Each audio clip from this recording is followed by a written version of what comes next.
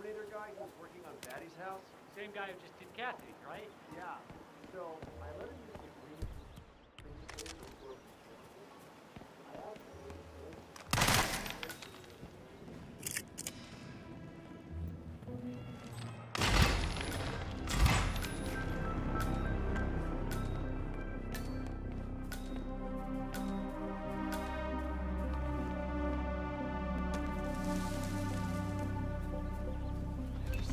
This is oddball nurse, is it?